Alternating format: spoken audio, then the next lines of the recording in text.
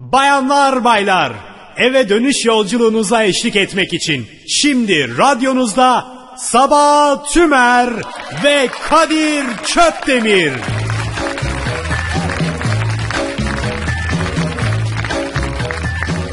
Efendim iyi akşamlar, iyi akşamlar, iyi akşamlar. Çift dikiş an itibariyle başladı. Akşam saatlerinde yapılabilecek en güzel şeyi şu anda yapıyorsunuz.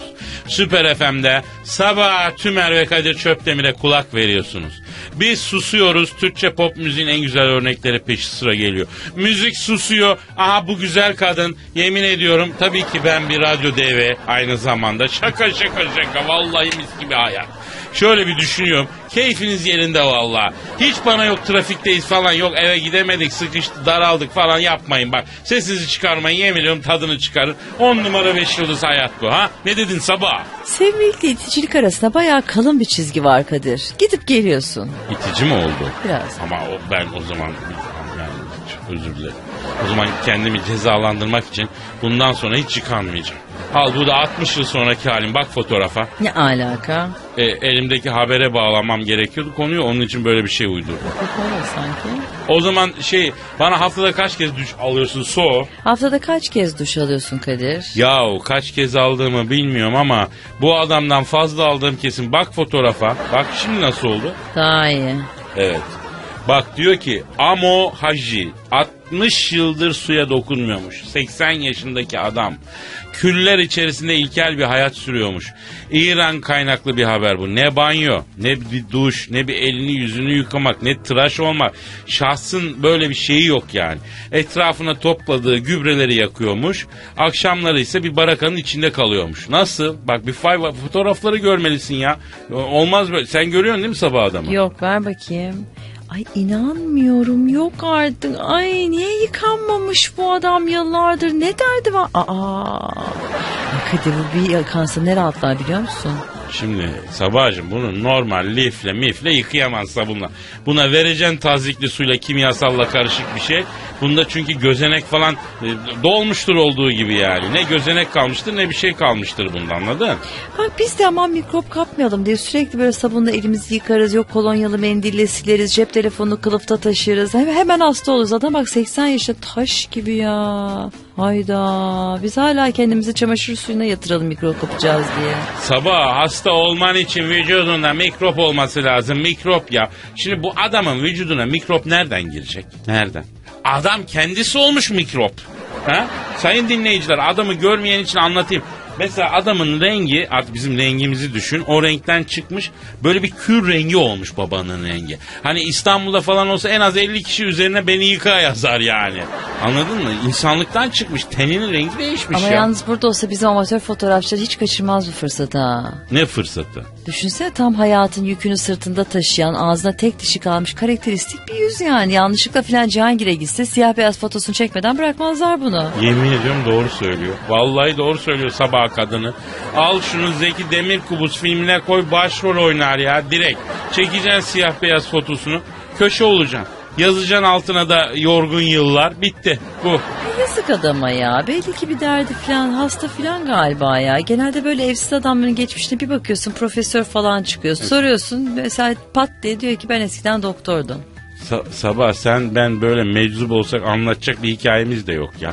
Ben böyle bir saygı da göremeyiz ha açık söyleyeyim. Niye? Benim hakkımda konuşurlar. Bakmayın şimdi böyle sürekli kahkaha attın eskiden televizyoncuymuş falan derler. Yavrum reytinglere düşünce bu hale gelmiş iş bulamamış.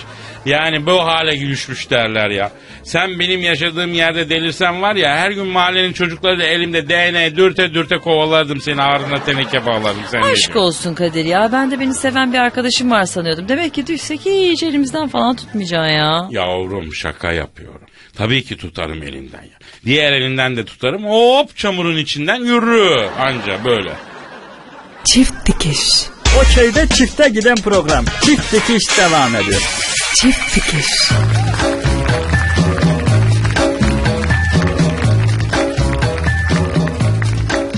Sabah romantik misin canım? Ha, bilmem ya. Duygusal oldum kesin de romantiklikten kastın ne?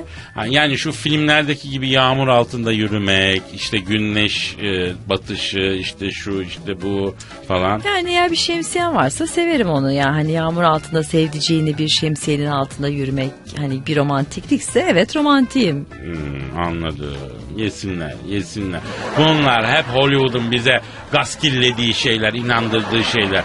Film kızım onlar. İnanmayacağım böyle. Yağmur altında öpüşmekmiş falan. Hikaye abi. Biz yapsak hemen akşamına cırcır oluyoruz. Motoru bozuyoruz ya. Yanlış mıyım? Filmde bakıyorsun esas olan kızı eve götürüp hemen kahve yapmanın peşinde. Kız desen kibar kibar hapşırıyor. Hıpçı hıpçı diye kibar kız hapşırması yapıyor. Sonra battaniyenin altında elde kahve hallenmeler falan. Mesela sizin de böyle mi oluyor ya? Benzer şeyler ne var ya oluyor işte bizim de öyle. Sen yapamıyorsun diye kıskanma. Yavrum yabancılar yapsa bunu film oluyor. Haftalarca sinemada kalıyor izliyoruz. Sen yapsan en fazla mobese kameralarına takılıyorsun. Yağmur yağdı İstanbul ne hale geldi diye haberler izliyoruz ya. Ha? Hiç de romantik gözükmüyor yani. Sen öyle san. Sen hiç yağmur altında ıslanmış bir sabah görmedin sanırım. Çok seksi oluyorum. Sabah gerçekleri söyleyip seni hüzüne gark etmek istemiyorum ama o kadar kısasın ki yağmurlu havada şemsiye açınca yürüyen mantara benzersin sen. Hangi seksilikten bahsediyorsun Allah billah aşkına ya. Ha? Ya sen kendine hiç mi bakmıyorsun Kadir ya? Gören de zannedecek iki metre boyun var ya. Sen de kısasın. Sen bana bakma. Bana devam sütü verelerdi. En az 20 santim uzardım ben. En azından senden uzunum ben ya. Ben şemsiyeyi tutunca sevgilimin gözünü çıkarmıyorum ama sen parmakların ucunda yürüsen yanındaki adamın gözü hep tehlikede öyle düşün. Ya git bir işine ya çok yakışıyoruz. Hiç de şemsiyeyle gözün çıkarttım sevgilim olmadı. Bak sabah gerçekleri söyleyeyim. Sen şemsiyeyle yürüyorsun ya. Yanında sevgilin geliyor böyle uzun uzun. Uzaktan aynı camiye benziyorsunuz söyleyeyim. O minare sen kubbe. Aynı. Cuma günleri yağmur yağsa sakın birlikte gezmeyi söyleyeyim ha. Ya çok kırıcı olabiliyorsun bazen. Sana cevap vermeyeceğimi falan mı sanıyorsun? Veririm. E Ver. Dostacı söyler sabah. Ben sana gerçekleri söylüyorum. Hem boş ver yağmurda da gezme canım. Filmlerdeki gibi olmaz yani. Akşamına dedim ya cırcır olursun motoru bozarsın ya. Sen Ya. hiç cırcır olan mekren gördün mü la filmde? He? Hiç de bile ya. Aynı filmlerdeki gibi oluyor bizim de. Yavrum onlar yağmurda en fazla hepçi hepçi diye hapşırıyor. Sen Türk kızısın. Bir hapşırsan ciğerin yarısı dışarı çıkar. Komşu ülkeler alarma geçer senin sesin. Filmdeki adam kızı evine götürüyor, kahve yapıyor, sırtına battaniye veriyor. Burada en fazla metrobüs durağına bırakırlar ya. Benden söylemesi ya sana. Peki Bay kimseyi beğenmez. Sen nasılsın? Romantik misin Allah'ını seversen? Bana en son sevgiline yaptığın romantik bir şey söyle bakayım. Vallahi merak ediyorum. Hani Şimdi romantiklik Sabahcığım. Bizim atasporumuz gibi bir şey. Bizim yani bizim aile için. Bizim ailede erkekler zaten doğarken ağızlarında gülle doğuyorlar öyle söyleyeyim. Çıkar çıkmaz annemize verdik biz o gülü ya. Kaç Ay kuşaktır. maşallah ne aileymiş bu ya. Ağzında gümüş kaşıkla doğan duydum da gülle doğan gerçekten bir. Niye gül ağzında bu arada? E, ellerimiz dolu da ondan. Ya eline ne var? Keman. Ay, Bizim elimizde bir de keman var. Biz kemanla doğar. Ben, benim büyüklerim. Siz mesela normal insanlar doğar doğmaz ağlıyorsunuz değil mi? Evin notasız notasız. Bizim aile öyle değil yavrum. Bizim ailenin erkekleri doğduğunda doktor bir vuruyor başlıyor Babako Vivaldi'nin ilkbahar konçertosu. Bak baharın gelişi, çiçeğin açılışı falan bunlar. Sonradan böyle oldu peki. Na- nasıl oldum sonradan yani? Ne? Yani. Na, na- nasıl oldum sana diğer zamanlar anlatayım ben sen. Sen benim maço tavrımı gördün ama benim içimdeki Ahmet Selçuk İlkan'ı sen görmedin. Ben onu bir çıkarayım içimdeki Ahmet Selçuk İlkan'ı. Bana sevgiline son yaptığın romantik şeyi anlat. Anlatacağım da. Anla bir şarkı çalayım anlatacağım. Ben bu bu arada ağzıma gülümü de alayım da daha havaya gireyim ben ya. Çift dikiş. Doğada çiftler halinde gezen program Çift Dikiş devam ediyor. Çift dikiş.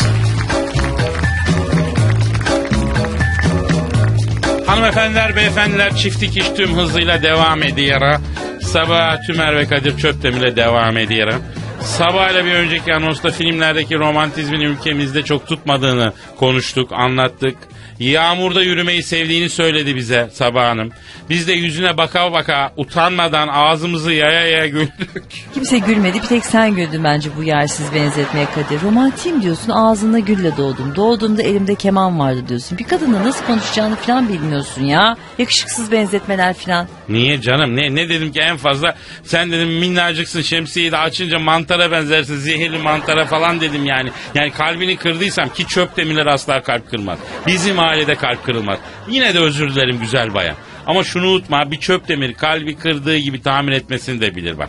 Çünkü bizim genimizde var bu ya sabah. Çöp demirlerin genleri farklı mı oluyor? Ya mesela senin genlerinde kromozomlar var. Bizde mum var, tütsü var. Aşk kokuyor anladın mı? Ee, mesela defterlerimizin arasından kurumuş gül eksik olmaz kitapların arasından.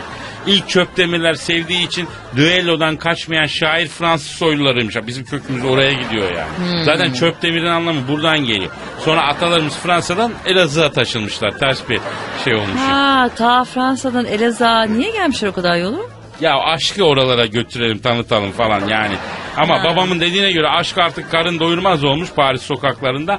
Elazığ'ın verimli topraklarına göçmüşler. Sonra işte o düelloyu, serenatı falan bırakmışlar. Başlamışlar badediz, soğan ekmeğe öyle hani anladın mı? Hani elma, kiraz falan filan o şekilde. Yani aşk, aşkla e- ekmişler ama Ya tabii. ben şimdi ne diyeyim sana ya? Neyse e o zaman senin de genlerinde var bu romantizm. Ee, sonuçta tabii ki sen de çöp demirlerin son temsilcisisin değil mi? Yavrum aşkın dünyadaki son şövalyesi benim ya. Ya mütevaziliği elden bırakmadan söylüyorum bak. Bir de bıraksam ne olur bilmiyorum bak. Bırak. Evet şövalye söyle bakalım hadi artık. Son en son sevgilinle romantik ne yaptın? Hani sonuçta yağmurda ıslanmak sana göre saçma olduğuna göre. Sabah daha geçen de sevgilimle bir sepet hazırladık. Bak bak iyi dinle. İçine o üçgen fıstık ezmeli sandviçlerimizden koyduk. Yanımızda böyle bir şişe şarap. Gittik kıra. Piknik yaptık. Köpeğimizle frisbee oynadık. Birbirimize bakıp aşk şarkıları söyledik. Ne oldu? Ha? Ne oldu beklemiyordun değil mi yavrum benim? İşte romantizm. Yoksa yağmurda s**tin gibi ıslan ne oluyor kardeşim? Ay Kadir ya hiç güleceğim yoktu ya. Bırak al sen. Piknik, üçgen sandviç, köpek, frisbee. Hay Allah'ım sen en fazla otobanın kenarındaki çimlerde ayakkabılarını çıkartıp ağzın aka aka uyuyakalmışsındır. Rüyanda görmüşsün sen o pikniği. Allah kahretmesin. Yaptık da üçgen sandviçler tabii bize yetmedi. Doyurmadı. Ha, ha, ben ha. kardeşim böyle açlık görmedim ya.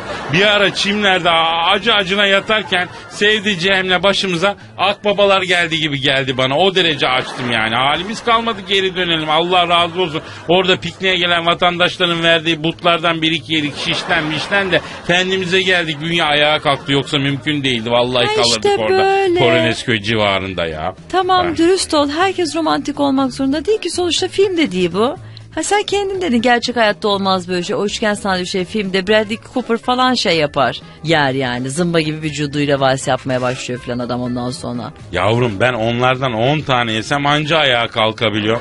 Ya ben gibi bak bir şey söyleyeyim. Geçtim valsini, rumbasını, çaçasını bir daha tövbe sabaha ya. Ne varsa eskisi piknikte var. Alırım bidonumu, giderim çeşmeye güzel. Doldururum kaynak suyumu.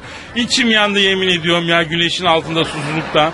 Bir de köpek götürüp frisbee oynamış. Peh Allah'ım ya. Sanırsın Venedik'te yaşıyor paşam. Yok be onu da ambiyansı tamamlasın diye pet shop'tan kiraladık. Hayvancağız da tabii aç kaldı yanımızda. Frisbee attık tutup getirsin diye tutup yedi hayvan frisbee yer mi la köpek? En azından ders almışsınız. Yoksa bak bak bizim burada o filmlerdeki sahneler olmuyor. Zorlamamak lazım. Karpuzu dereye yatırmadan piknik olmuyor abi. Aşkımız depreşecek. Birbirimize kavuşalım derken hakka kavuşuyorduk az daha olmaz böyle şey. Ya dersimizi aldık oturduk abi. Ay iyi sevindim ya. Ben de artık yağmurlu havada romantiklik olsun diye yürümeyeceğim yani. En azından şemsiyeyle. He valla yapma ya. Tek başınayken yürüyen mantıra benziyorsun diyorum sana ya. E sevgilin yanındayken de hani kubbe minare gibi oluyorsun. Olmuyor yani. Olmuyor boş ver ya. En azından piknik yapmaya gittiğim yerde aç kalmıyorum. Başımda akbabalar dolanmıyor. Ben de pişmanım zaten. Ben de. Çift dikiş. Çift sarılı yumurtadan çıkan program. Çift dikiş.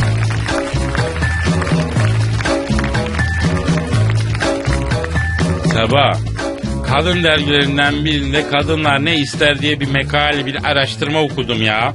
Nasıl bir araştırma? Güzel araştırma. Ya insanlığa yararı olan bir araştırma. Böyle yapsınlar işte. Zaten araştırma dediğim budur. Yani gidip de buzulları araştır, atomu araştır, gökyüzü ne oluyor kardeşim? Adam gidiyor ozon tabakasının delinme sebebini araştırıyor ya. Ya bunun bana ne yararı var? Ha? Ama kadınların ne istediğini öğrenirsem bu çok faydalı. Çok faydalı. Maya uygarlığına bile can verebilecek bir araştırma.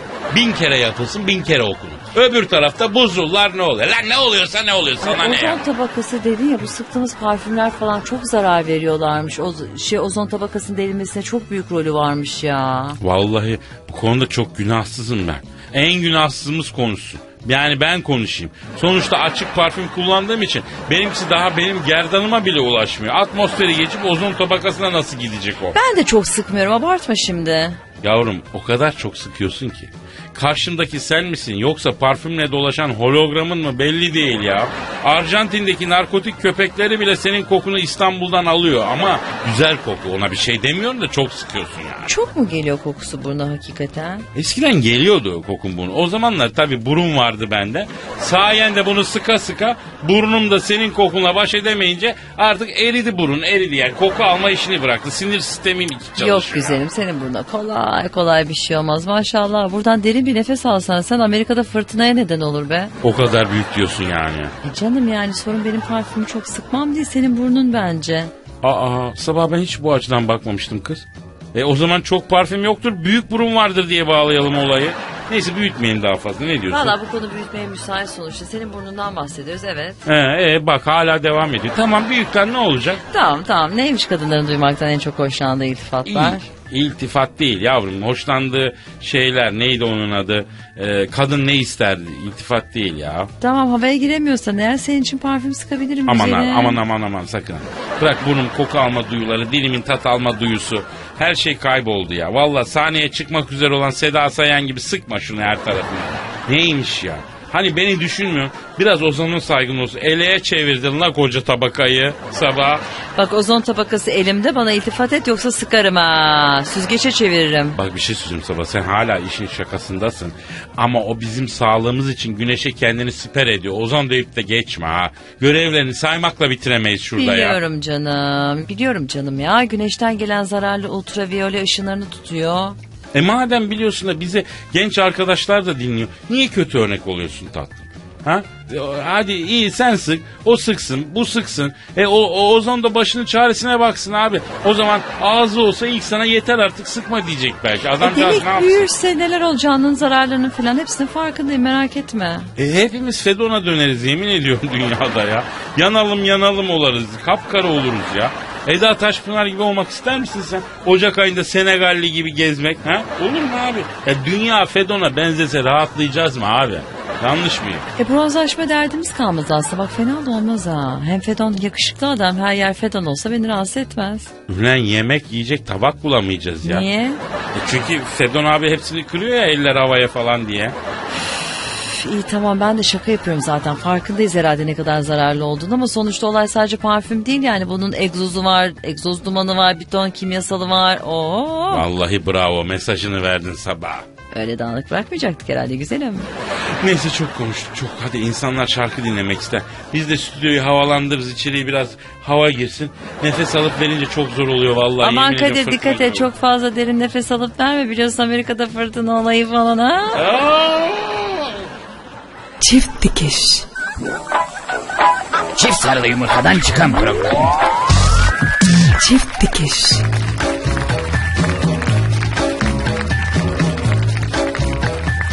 Sabah İngiltere'de yapılan bir araştırmaya göre 26-30 yaş arasındaki gençlerin %73'ü e, çeyrek yaş bunalımı yaşıyorlarmış ya. Ama bu bildiğin orta yaş bunalımı gibi değilmiş yani. Bu sendromdaki gençler ünlülere özenip kariyer yapıp zengin olmak istiyorlarmıştı. Ancak gerçi ama tabii böyle değil hayat. Gerçeklerle yüzleşiyorlar. Yüzleşince de bunalıma giriyorlarmıştı. E, çözümse e, borçlanmamaya çalışmak, farklı yaş gruplarından insanlarla takılmak, bir takım gönüllü sosyal faaliyetlere katılmak falan filanmış yani. Bu nasıl bir şey abi? Nereden tutsan elinde kalıyor. Ne diyorsun? Tam bu yaş arasına denk geliyor değil mi 27 yaş sendromu? Sabah 26 ile 30 yaş arası gençler dedim ben. Ee, 27 içine giriyor mu? Ee, bu nasıl bir matematik bilmezlik ya? Aman hadi ya ne bileyim hesaplayamadım kaç 26 27 için içine işte ama sen de bende dalga mı geçiyorsun ya? Benim zaten matematiğim iyi değil. Lise, lisede matematikten hoca sözlüğe kaldırmıştı beni Kadir bir kere anlatayım mı? Anlat. Dedi ki doğal sayıları yazmaya başla. Ha. Kadir bir anda sınıfa pencereden bir ışık girdi. Aha UFO mu geldi ya? Ama UFO olsa Kumburgaz'a gider. Ne zaman UFO görüldü haberi çıksa dikkat et ya köyde görünüyor ya Kumburgaz'da. UFO'yu uzaylı bildik. Yani gel gelsin tamam ama niye sadece kumbur? Neyse e, ne oldu lan? Hakikaten mi Kadir ya ben boşa mı anlatıyorum acaba? Çünkü bazen hissediyorum ben biliyor musun? Mesela arkadaşlarıma hararetle bir şeyler falan anlatırken. Hararetle ne anlatıyorsun arkadaşlarına? Ya mesela aradığım ayakkabıyı bulmuşum onu anlatıyorum. E, hararetle anlatman gayet normal. Ne var bunda? E bana baktıklarını ve dinlemediklerini hissediyorum. E, nasıl anlıyorsun mesela? Anlatırken en hararetli yere geldiğimde Mesela yani anlattı, anlattığın konunun en hararetli yeri ne yani onu bir ya anlayamadım. ayakkabıyı bulduğum yer E, anladım ne yapıyorlar? e kalkıp gidiyorlar. Canım bir lavaboya gideyim gelince devam et diyorlar. Hani belli yani hiç dinlememiş. Ya takma kafayı. Biz seni dinliyoruz abi. Anlat sen lisedeki matematik hocan seni tahtaya kaldırdı. Doğal Ha sayıları ha ha sordu. ha ha onu anlatıyordum. Neyse doğal sayıları yaz dedi. Hı. O anda sınıfa yoğun bir ışık. Ya sabah lafını unutma da bir şarkı çalalım sonra devam et ha. Bak şu anda beni de 27 yaş bunalıma soktun ha. Tamam öyle 27 yaş sendromuna girmek kolay değil öyle. Öyle e, Kurt Cobain, Amy, e, Amy Winehouse, Jimi Hendrix falan hep arkadaşlar onları dinlemiyorlar diye 27 yaşında ölmedi yani. Sen kendini sokma o gruba boş ver. Zaten yaş olarak geçti benden de. Nedir sence bu 27 yaş olayı ha? Tesadüf mü? Ya bir teori var aslında. Eskiden insanların yaşam süreleri ortalama 27-28 yılmış. Ee, işte şimdi 70'e 80'e çıkınca ortalama e, genetik bir kodlamayla en fazla ölüm bu yaşta hissediliyormuş ölüm duygusu. göre. Senin de oldu mu 27 yaş sendromunu? Yani hani şey yapıyor muydun, sorguluyor muydun hayata? Ben kaçırdım sabah o güzelim karizmatik havalı yılı kaçırdım ben. Niye? E, 94 Dünya Kupası'nı izleyeceğim diye mis gibi 27 yaş sendromunu kaçırdım ya. O e, Roberto Baggio meşhur bir penaltı kaçırması var finalde. Kaybeden orada sadece İtalyanlar olmadı yani biz de kaybettik. Dünya Kupası ile birlikte 27. yaş çekti gitti yani. Hani Baggio'nun üzüldüğü bir fotoğraf var hani yere çöküyor. Ben de evde halın üzerine öyle çöktüm kaldım. Koy benim fotoğrafı onun yanına aynı üzün yemin ediyorum. Üzülen bir Kadir Çöpdemir fotosu dünyada bir infial yaratabilirdi Kadir. Yavrum benim en azından yakın zaman 94. Senin 27 yaş fotonu Hitler'in fotoğrafının yanına koymaları lazım. Ha? Aynı zamana denk geliyorsunuz yaş olarak. Ne yapayım 27 yaşımda ölmedim diye üzüleyim mi yani senin gibi? Ama şimdi bak fırsatı kaçırdın sabah. Efsane olurdu. 20 yaşında ölen, 27 yaşında ölen ünlüler listesinde olacaktın. Üstünde bak Kurt Cobain, efendime söyleyeyim söylüyorum sana Jimi Hendrix neler var yani. Onların listesine gireceydin ya. E vadesi dolmuş aman gitmiş falan diyecekler şimdi. Kurtuldu zavallı diyecek. O zaman efsane olacaktın. Kadir ölümsüzlük iksiri bulunsa ne güzel olur değil mi? Sonsuza kadar yaşasak falan. Vallahi sabah ben de bu şans varken ölümsüz içerim. İçerken boğazıma takılır. Kalırım öyle ölürüm. Ben bana gelmez yani. 20 saniye önce falan ölürsün sen iksir bulunmadan. Vallahi. Çift dikiş. O köyde çifte giden program. Çift dikiş devam ediyor. Çift dikiş.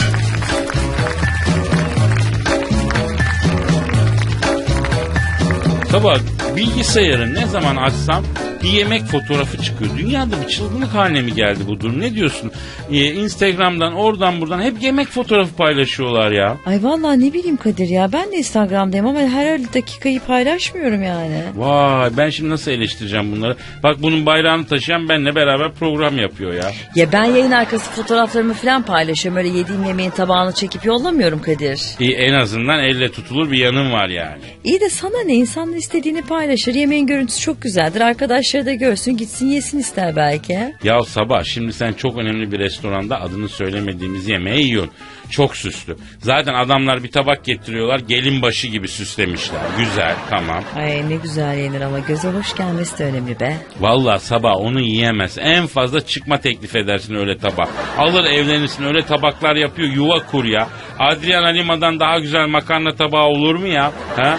Yani maydanozda kaç zeytinle göz falan koy duvarına Mona Lisa tablosu gibi E olur mu? Ne fena mı işte ne güzel. Ya fena tabii. Sen şimdi oralara gidebiliyorsun. Gidemeyenler için fena. Onlar ne yapacak? Her yemek güzel Kadir. Herkes kendince süsleyebilir. Ya bırak sabah bırak şimdi. Adam seni takip ediyor Instagram'da. Bakıyor padişah sofrası gibi sofra. Eve gidiyor anası önüne koyuyor pırasayı. Çocuğun psikolojisi bozuluyor abi.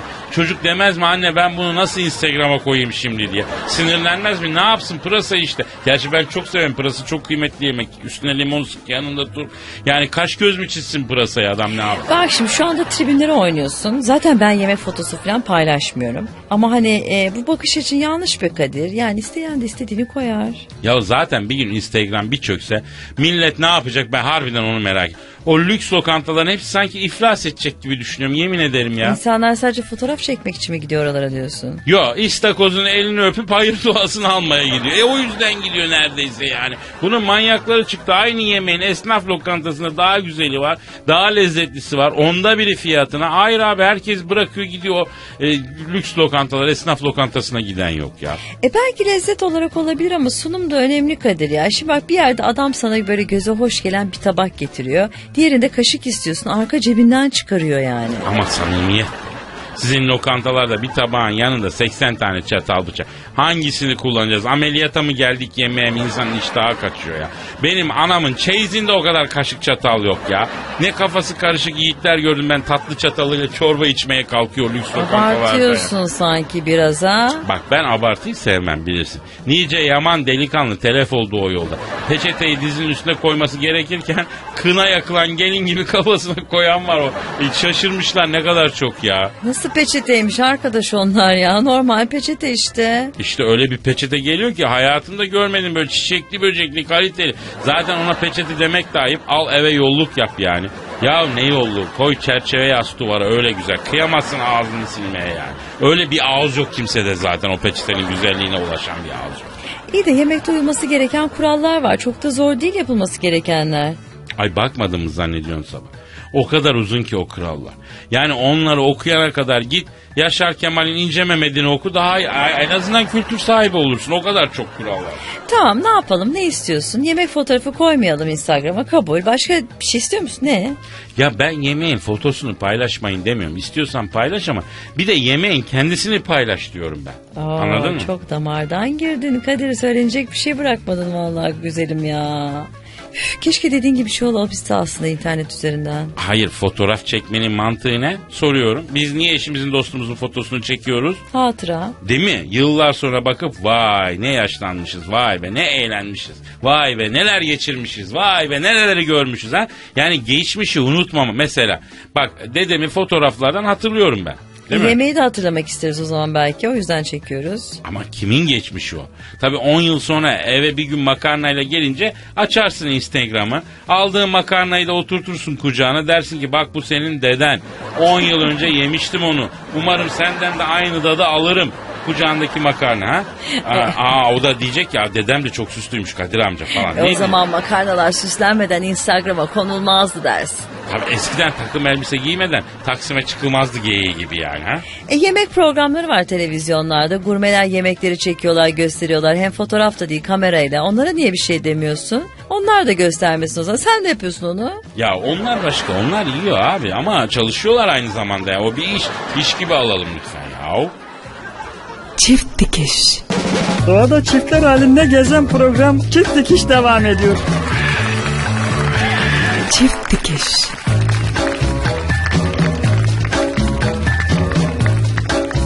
Sabah o elindeki ne yavrum? Bir liste buldum kadınları cezbetmenin on yolu diye. Getirdim sana işine herhalde güzelim. Oo, yani şu anda elindeki o kağıt parçası Piri Reis'in haritası yani dünya için ne anlam taşıyorsa öyle bir anlam mı taşıyor? Ver bakayım ona. Ha? Ya, ya gerçi ihtiyacım da yok ha. Ama yani bir arkadaşım için alayım diyeyim. Ver bakayım. Yok canım senin zaten ihtiyacın. Ne yapacaksın ki? Boş ver ihtiyacı olan birine ver. Ben olmuşum kadınların cazibe merkezi ya. Sen hala ne diyorsun yavrum? İyi pek sağ ol o zaman. Ne ya? Ya Allah Allah. Bir arkadaşım için alacağım versen şunu. İyi sevgilinize sorular sorun diyor. E, soruyoruz herhalde bu mu yani? Ne yapıyorsun? Ne var ne yok dışında sorular. Yani hani günün nasıl geçti falan gibi. Ben ona sorular sormam ki. Neden? Çünkü benim zaten tüm sorularımın cevabıdır o yani zaten. Bravo Kadir be. Vallahi dışarıdan bakan hiç anlamaz ama senin içinde tam bir Don Juan var yani. Yavrum ben Monaco prensi gibi adamım da değerimi bilen yok. Diğeri neymiş yavrum? Ee, diğeri çantası ağırsa siz taşıyın. Yolda yürüyorsanız araçların geçtiği tarafta siz yürüyün. Bu ne ya? Kız bütün evi çantasında taşıyacak sonra Kadir sırtlansın çantayı. Ya sabah benim taşımakla yükümlü olduğum bir göbeğim var. Zaten o kadar büyüdü ki görsen saygıdan ayağa kalkıyor millet önünü ilkliyor ya. Ah bak işte Monaco prensi buraya kadar. Kadir'i kraliyete de alsan Kadir yine Kadir işte. Ya araçların geçtiği yerden niye yürüyorum? Peki hadi öbürünü halledeceğiz de. E kapkaç olayı falan olursa diye arabadan çekseler çantamı benim ne olacak? Sen durursan bir şey olmaz. E ben dursam bu sefer beni çekecek. Kapkaç yapacak hırsın önünde. Daha olsa duramaz ya. Adam bir kere kafaya koydu alacak abi. Çanta almaz ben alır. Benim cüzdanıma saldırır. Yine kapar kaçar. O nasıl olacak? Seni nasıl kapsınlar Kadir ya? Sen hiç aynaya bakmıyor musun ya? Seni bir insan tutup arabaya çekmesi imkansız yani. Çekiciyle falan ancak. İstanbul burası ablacığım.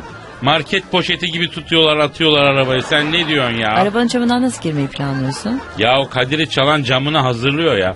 Eğer hazırlamadıysa zaten göbeğim candan gel. Bak bütün İstanbul'u İffet filmindeki müjdar gibi gezdirirler yemin ediyorum. Seyrettin mi sen o filmi? Allah kaçırılmanın bile hayırlısını versin vallahi. Seni öyle düşünemiyorum. Ya partilerin seçim otobüsü gibi bütün mabadı gezdirirler İstanbul'da Allah muhafaza ya. E sen de el sallarsın halka. Ya bazısı tanır tamam Kadir miydi bu der ama bağırır da ar- arkamdan. Hayırdır Kadir abi başın mı sıkıştı yardımcı olalım diye ama ne işe yarar yani. E neyse yani sonuçta yol kenarından yürümem mi diyorsun? Yani E haklısın yani iffetsiz bir sonuç doğurabilir hak verdim tamam. Tamam giden çantam olsun boş ver tamamdır. ya başka ne var kadınları cezbetmek için başka şey söyle bunlar değil yani başka ne var? Pinti olmayın diyor mesela hani sinemadır taksidir öde- ödeyin yani para hesabı yapmayın. Oo ne güzel dünya be her yerde eşitiz abim eşitiz eşitiz. İş hesaba geldi mi keşkülün kebabın parasını sen öde. Aa ne eşittik?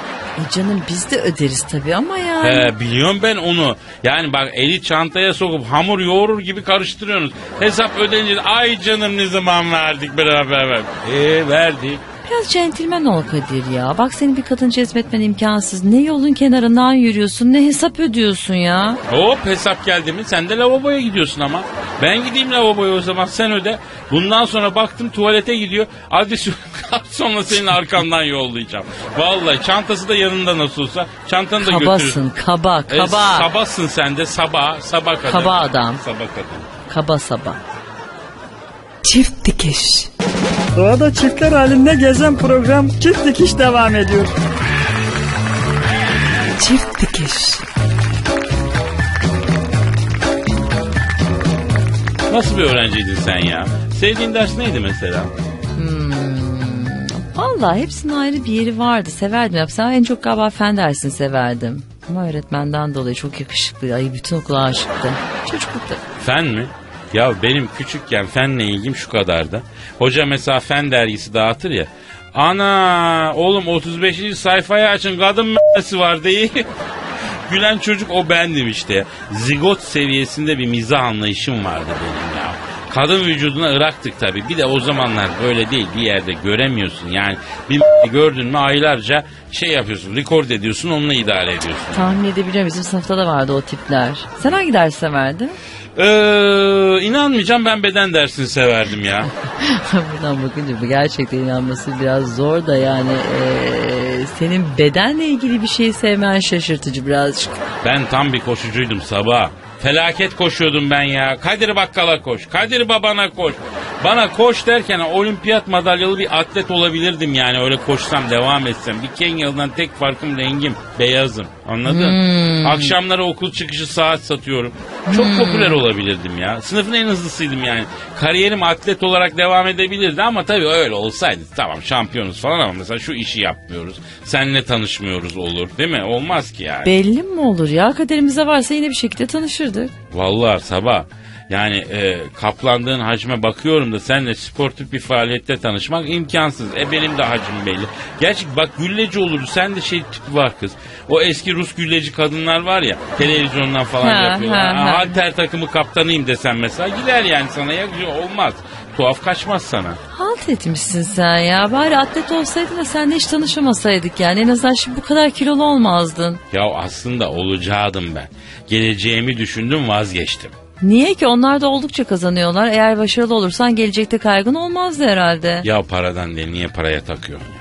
Şimdi mesela futbolcular ne güzel jübile yaptıktan sonra hop yorumcu oluyor. Hop antrenör oluyor değil mi? İlla bir şey oluyor. E, atletlerin eskisine ne oluyor? Ya annemin eline geçerse yer bezi oluyor. Ne oluyor? Şaka mı bu şimdi? Yo eski atletlere ne oluyor diyor. Atlet anneme geçerse yer bezi oluyor. Yani sonuçta gülecek bir şey yok da. Yani konuya dönmek için ben öyle bir ara geçiş yaptım ya. Ha? Ya sırf bu şakanı yapmak için küçükken koşuyordum atlet olacaktım filan dedin değil mi Kadir? Ay, doğru söyle. E, tabii ki. Ya aç gözlerini gör, Kadir'i gör. Kadir gerçek Kadir. Komik bir şakan varsa ben konuyu oraya getirmek için mü çatlatırım anladın mı? Konuyu da oraya getiririm yani. İnanamıyorum sana ya. Bari komik olsa yani. E peki bütün o beden dersleri filan hikayesi yalan mıydı? Yavrum Türkiye'de beden dersinin olayını ben sana anlatayım. Beden dersi ilk ders olsun istersin ki okula eşofmanla gideyim. Ya da beden son ders olsun ki eve eşofmanla döneyim. Benim bedenden anladığım buydu ya. Benim gibi milyonlarca öğrenci bu hesap yaptığı için biz olimpiyatlarda falan başarısız oluyoruz. Bak koskoca kış olimpiyatları var 500 sporcuyla gidiyoruz anladın Ha mı? olimpiyatlardaki başarısızlığımızın sebebi bu diyorsun yani. E tamam bu konuyu bir spor bakanlığına aç. Yani sporda ülkemize yeni bir atılım falan olsun senin sayende. Ya as mı? ya olsun bak biz aslında yetenekli milletiz sabah ama bizi yönlendiren mesela jimnastik. Bak olimpiyat tarihinde altınımız var mı jimnastikte? Bildiğim kadarıyla yok.